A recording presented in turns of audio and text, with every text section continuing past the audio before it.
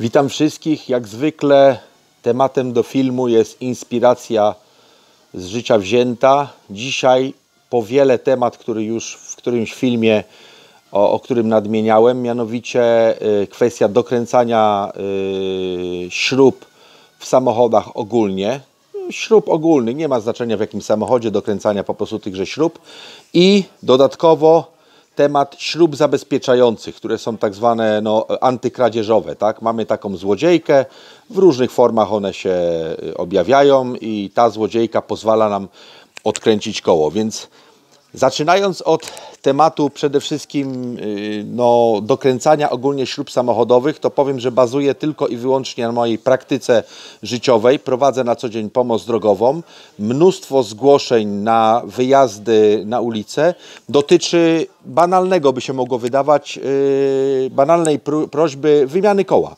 Czyli ludzie mają koło zapasowe, ludzie mają klucz, lewarek, wszystko mają, są wyposażeni, ale nie są w stanie odkręcić śruby od koła. O co chodzi?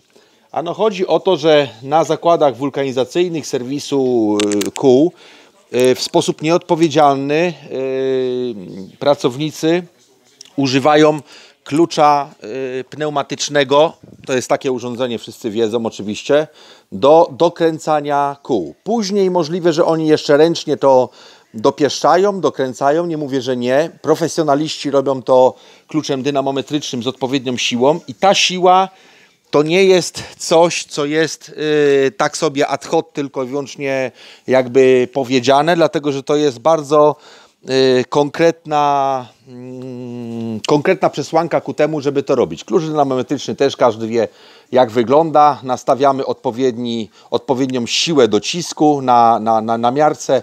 Dla samochodów osobowych taka siła docisku śrub, yy, którymi dokręcamy yy, koło, jest to około 120 Nm. O co chodzi? Całą robotę w dokręceniu yy, śruby do, do, znaczy śrubą felgi koła robi nam gwint. Owszem, gwint jest głównym elementem, który trzyma yy, koło, ale, ale to, co nam powoduje jego zakleszczenie, jego trzymanie się i jego nieodkręcanie podczas jazdy, to jest stożek. Stożek, który nam się zakleszcza w sposób skuteczny, jak dokręcimy to odpowiednią siłą, ale ta siła może być y, zdradziecka, jeżeli zrobimy to zbyt dużą siłą. Dlatego są podane konkretne dane, jeżeli chodzi o dokręcenie yy, śruby. Śruby mamy stalowe, którymi dokręcamy, grub, y, znaczy nie grube, tylko twardej jakości stali, którymi dokręcamy koło. Zazwyczaj, no mówmy się, w dzisiejszych czasach samochody mają aluminiowe felgi. Aluminium jest mięk, bardziej miękkie od, od stali, którą to dokręcamy. I ta śruba na feldze aluminiowej również mamy stożek tutaj w gnieździe. Śruba ma gniazdo, ma, ma, ma, ma stożek tutaj na jego końcu, na, na jej końcu. I jak dokręcamy śrubę do felgi, to na tym stożku, o przepraszam, na tym stożku nam się zakleszcza to połączenie śrubowe, zakleszcza się. I teraz tak, jeżeli to zrobimy zbyt mocno, to oczywiście, że zakleszczymy. To nie jest problemem zakleszczyć. Problemem jest później to, jak to odkręcić. Dlatego, że wiadomo, no przecież koło powinno dać się odkręcić bez problemu w formie serwisowej gdzieś na drodze, kiedy mamy awarię, kiedy musimy wymienić to koło na, na zapasowe, bądź nawet w serwisie, no mało tego, to palicho w serwisie, bo w serwisie jak to mamy do zrobienia, to chociaż dysponujemy jakimiś powiedzmy środkami przy przymusu i jakimiś narzędziami, ale jeżeli mamy tylko i wyłącznie do czynienia z lewarkiem, które zazwyczaj są no, wątpliwej jakości, źle uważam wyprofilowane wielokrotnie. Te fajki lewarków ja bym mógł nawet pokazać, to są zamiast pod kątem prostym albo wręcz jakieś jeszcze inne, bardziej yy, korzystnie wygięte, to są wygięte pod, pod kątem bardziej rozwarte niż kąt prosty, co powoduje to, że mamy że mamy, kiedy włożymy klucz, mamy mocno odsadzony klucz od koła, to już ten kąt powoduje, że nie, możemy, nie jesteśmy w stanie natrzeć z równą siłą na odkręcaną śrubę. Ale do czego zmierzam? O co tutaj chodzi w tym moim przesłaniu?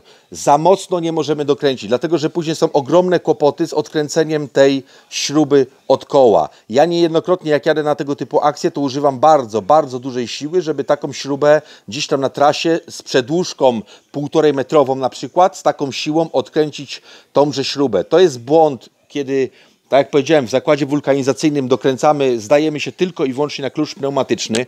Te klucze pneumatyczne są zazwyczaj wątpliwej jakości. E, ja już nie mówię, że to są chińskie, bo, bo to nawet nie chodzi o, o, o to, gdzie zostały wyprodukowane, bo i w Chinach produkują na pewno znamienite i dobre narzędzia, ale ale są kiepskiej jakości i, i ta kiepska jakość klucza powoduje to, że on w cudzysłowie oczywiście nie ma czucia w dokręcaniu, czyli pomimo, że my na, na, na, nastawimy jedynkę na, na tym, na tym, y, na tej, o muszę wyłączyć, moment. Pomimo, że my nastawimy na jedynkę na sile docisku tegoż klucza, to on już na jedynce dokrę, dokręca nam z taką siłą, takie uderzenie robi w kierunku śruby, że wgryza nam się ten stożek mocno w aluminium. I musicie pamiętać, że tą siłą, którą dokręcacie, yy, dokręcacie śrubę, nawet robiąc to kluczem, tak, szybkim ruchem do koła, to później, żeby ją odkręcić od, od koła, musicie użyć nie dosyć, że yy, większej siły, to jeszcze bardzo istotne jest to pole, którym klucz, jakie klucz ma zaparcie o śruby. I nie ma problemu tak z tego typu tematami, kiedy mamy do czynienia yy, ze śrubami o yy, no, o, gdzie, gdzie, są, gdzie jest sześć, sześć ścianek, tak jak tutaj widać, tak? 2, 4, 6. Standardowa śruba samochodowa. Problem pojawia się w innym momencie i tutaj mam do czynienia właśnie to, co chciałem umówić, e, mianowicie śruby zabezpieczające. Akurat mnie dotknął ten problem. Nie ja to dokręcałem, ale no, osoba trzecia. Ja chciałem wymienić u siebie w samochodzie, proszę bardzo. Guma mi po prostu tutaj już odmówiła posłuszeństwa osłaniająca amortyzator. Proszę, tak jak widzicie, ona wylatuje, ona nie jest urwana, ale po prostu ona straciła swoją, swoją tutaj sprężystość i nie trzyma się w gnieździe. Prosta w sumie wymiana. Chciałem odkręcić koło, no i niestety z jednym kołem mam ogromny problem. Powiem, wytłumaczę o co chodzi. No wiadomo, że te śruby zabezpieczające służą po to, żeby jak ktoś tam ma jakieś droższe felgi, nie wiem, powyżej 500 zł, no to tak jak tutaj w moim przypadku, no to no to fajnie by było mieć zabezpieczenie w postaci jakiejś śruby, gdzie jest wymyślny system łączenia śruby, a tak zwanej złodziejki, tej redukcji pomiędzy kluczem, tak jak tutaj widzicie, a tym elementem, który teoretycznie powinien nachodzić na śrubę i da, da, powinno dać radę się odkręcić tej, tej śrubie. No i tutaj wystąpił ten problem, że ktoś, kto dokręcał tą śrubę konkretnie w tym samochodzie, zrobił to z taką samą siłą, jak dokręcił wszystkie te pozostałe śruby, które powinny być dokręcone. Ta śruba zabezpieczająca, ona jest tylko, słuchajcie, ją trzeba dokręcić bezwzględnie, ale jej, ja uważam osobiście, nigdy nie dokręcamy z taką siłą, jak dokręcamy pozostałe śruby. Tak jak widzicie, w tym konkretnie samochodzie mamy do czynienia z pięcioma punktami podparcia i jak tą jedną śrubę dokręcicie z nieco mniejszą, nieco mniejszą y, siłą, to ona tak, po pierwsze, ona się zakleszczy na stożku, a po drugie, musicie mocno uważać a propos tych śrub zabezpieczających, jak ona jest skonstruowana. I ja teraz przejdę już bezpośrednio do, do tematu tych różnego typu śrub zabezpieczających. Wytłumaczę Wam o co chodzi. Tutaj mam Tutaj mamy do czynienia akurat w tym, z tego mojego BMW ze śrubami. Ja już celowo je odkręciłem y, wszystkie trzy, dlatego że wiem, że to będzie w ogóle te śruby są już do wyrzucenia i ja już walczę tylko i wyłącznie z jedną. I zobaczcie na konstrukcję po, po, poszczególnych tych śrub, tych zabezpieczeń, jak one są skonstruowane i to jakby Wam uświadomi, jakie śruby w przyszłości wybrać y, do swojego samochodu, co chcecie uzyskać. I teraz tutaj ta, ten rodzaj zabezpieczenia, które ja mam, tutaj taka, taka wewnętrzna złodziejka z, takim, z taką ryciną konkretną, jak tutaj widzicie, może to trochę ostrości nie może złapać, ale tam jest taka rycina w postaci, no, no, no powiedzmy trapeza, coś takiego, coś podobnego. Mianowicie o to powinno się zazębić w tym. Trzeba mieć świadomość, że mm, ważne jest to, jakie pole uzyskujemy nacisku na dane zabezpieczenie, podczas kiedy chcemy odkręcić, no głównie odkręcić tą śrubę. I teraz jakbyśmy zmierzyli tak matematycznie, jak włożymy tutaj tą, tak, taki sam kształt tejże, tejże złodziejki, no to to pole nacisku, umówmy się, na 2 mm głębokości, gdzie ten klucz się wrzyna w, to, w, ten, w ten rów i naciska na, na, na, na powierzchnię tą całą, to paradoksalnie jest bardzo, bardzo niewielkie. Co za tym idzie, my nie możemy sobie pozwolić na to, żeby ta śruba była dokręcona mocno, z całej siły, tymi 120 Nm. Dlaczego? Ano dlatego, że później prawdopodobieństwo, że my to w ogóle odkręcimy w sposób bezkolizyjny zmniejsza nam się. Tak samo jak u mnie się zmniejszyło. Ktoś dokręcił bardzo mocno, a ja mam w tej chwili problem z odkręceniem. Jeszcze tego nie zrobiłem, także ta śruba jest moją, moim jakimś wyzwaniem, co, co zaraz powiem o co chodzi. Teraz zobaczcie, porównajcie inne śruby zabezpieczające. Z jednej strony jest standardowa, standardowe podejście pod klucz do koła, tam, tam na dole, a tu na górze są różnego typu zęby. One tak na pierwszy rzut oka, na przykład ten, ten i ten wyglądają tak samo, ale to jest nic mylnego. Każde z tych zębów jest inaczej wyprofilowane, jeżeli chodzi o, o Zobaczcie, tutaj już mam gotowe jakby rozwiązanie śruby względem złodziejki. Patrzcie, śruba wygląda w ten sposób, że ma no taki powiedzmy, że to jest coś ala no Torx, tak? Ala, zębaty. I nachodzi na tą, na tą złodziejkę i za pomocą tutaj pociągnięcia klucza my to jesteśmy w stanie odkręcić. Ale jakbyśmy wzięli tą śrubę i próbowali na którąkolwiek z tych innych złodziejek nadziać, no to oczywiście nie, nie da rady, dlatego że ona ma konkretny rodzaj tutaj tego, tego graweru, tego kształtu dostosowanej, dostosowanej do, tej, do tej złodziejki. Tak samo tutaj. Ściągam, widzicie, tu jest zdecydowanie grubszy, yy, grubszy model tych zębów i ona nachodzi na ten model, a, a, a nie najdzie na każde inne. Zobaczcie tutaj, jakie jest wymyślne zastos zastosowanie. Też te zęby są nie dosyć, że jest ich niewiele, kilka tylko raptem, to jeszcze one szerokością jeden od drugiego zdecydowanie się różni. Co powoduje, że nie tylko, nie, nie tyle mamy, patrzcie, on w jednej, ta śruba w jednej pozycji tylko złodziejki jest w stanie w ogóle wejść w tą, w tą, nazwijmy ją złodziejkę, a w każdej innej, patrzcie, ja próbuję i ona nie wchodzi, tylko i wyłącznie w jednym miejscu się zazębi. I teraz wyobraźcie sobie, że mamy do czynienia z różnymi tymi przykładami. Patrzcie, tutaj mamy jeszcze coś innego.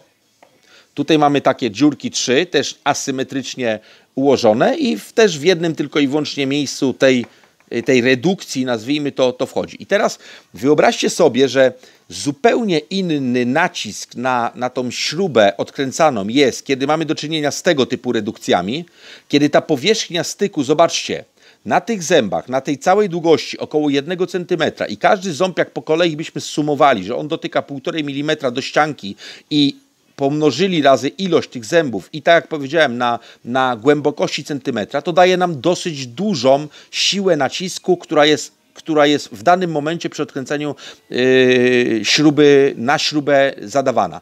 A patrzcie tutaj, to co ja mam do czynienia teraz, z czym ja walczę. Tu jest tylko i wyłącznie rowek. On ma może na głębokości, suwmiarką jeszcze nie mierzyłem, ale strzelam około 3, może 4 mm. Ale sama redukcja, sam, sam ten ten element, który powinien tam się, no, u, u, powinniśmy tam umieścić w to, on już jest płytszy, on nie ma takiej głębokości, on nie wchodzi całkowicie. I tutaj ja już mam taki, taki efekt, że ta redukcja wchodzi mi owszem w tą śrubę, którą mam tam przy samochodzie, ja wam jeszcze raz pokażę, ale już mi się na tyle ślizga, tutaj ja już papier specjalnie tutaj włożyłem kawałek papierku, żeby żeby yy, nie pokaleczyć mocno tej felgi, on już mi się na tyle ślizga, że nie jestem w stanie odkręcić. I teraz patrzcie, no taki jest cel tej śruby antykradzieżowej, że ja nie jestem w stanie jej w sposób prosty odkręcić, bo tu jest to gniazdo, które powoduje, że nie mamy żadnego podejścia, tak jak jest, widzicie, to są takie plusy i minusy, bo to zabezpieczenie uważam jest doskonałe, doskonale odporne na wszelkie jakieś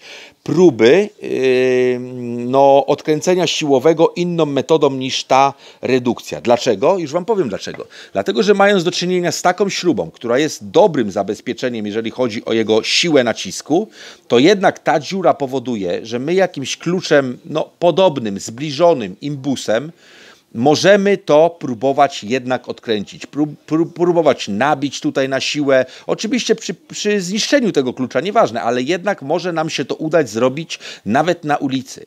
Tutaj, w tym konkretnie przypadku, który ja Wam tutaj demonstruję, tym jest to absolutnie niemożliwe. Bez użycia jakichś specjalistycznych narzędzi, ewentualnie później, nawet bez użycia spawarki, bo tutaj najprawdopodobniej to się skończy spawaniem. Ja teraz nie chcę jeszcze tego wywoływać tych złych, myśli, no to, to ta, to zabezpieczenie daje nam większą gwarancję na to, że nikt nie, nie podejdzie pod to i, i faktycznie nie ma możliwości tego odkręcenia, bo zobaczcie jak ta śruba wygląda. Ona jest całkowicie gładka i tutaj jest tylko ta rycina.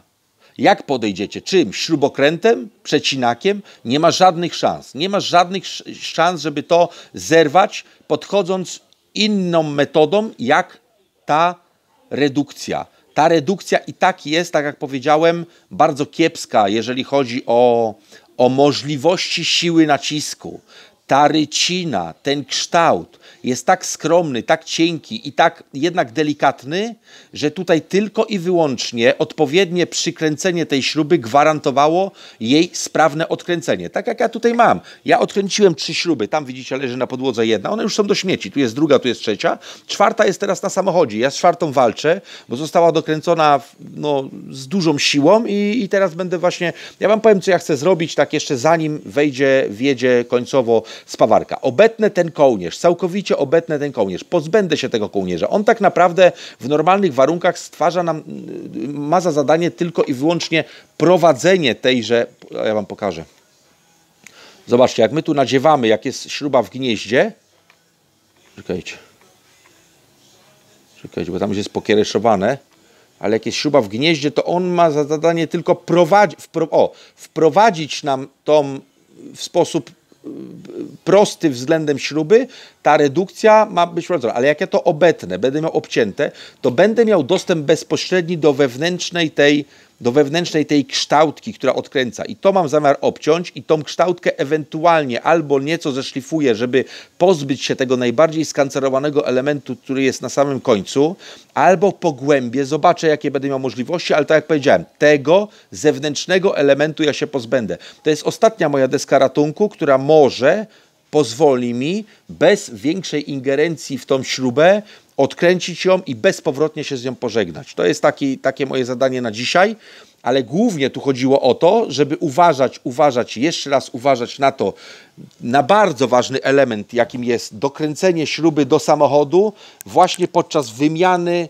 Yy, wymiany koła, bo za, do, dokręcić, zakleszczyć śrubę to nie jest, uwierzcie mi, żaden problem. To jest bez żadnego problemu, jesteście w stanie to zrobić, ale później na trasie, jak chcecie to odkręcić, chociaż jesteście nawet mechanikami, nawet możecie być po prostu mistrzami świata, zapewniam Was, że posiadając tylko ten klucz samochodowy, możecie się mocno zdziwić, że jest to nierealne. Ja mam procentowo to jest bardzo dużo wezwań do takich rzeczy jak banalne, banalna wymiana koła, dlatego że ci ludzie nie są w stanie, nie że nie mają umiejętności, kluczami, które są dołączone do zestawu samochodowego, nie są w stanie odkręcić tak jak powiedziałem, ja, jeżdżę, ja jadę z przedłużką, metr, półtorej metra ma ta przedłużka i nieraz muszę się mocno uwiesić na, na, na końcu tej przedłużki, mocno pociągnąć, żeby, żeby ta śruba puściła, a jak puszcza, to aż jest normalnie, aż jest huk i, i aż strzelenie z tej śruby i, i, i, że tak powiem, zadyma z tej śruby pójdzie, tak mocno one są dokręcone. Zwróćcie na to uwagę,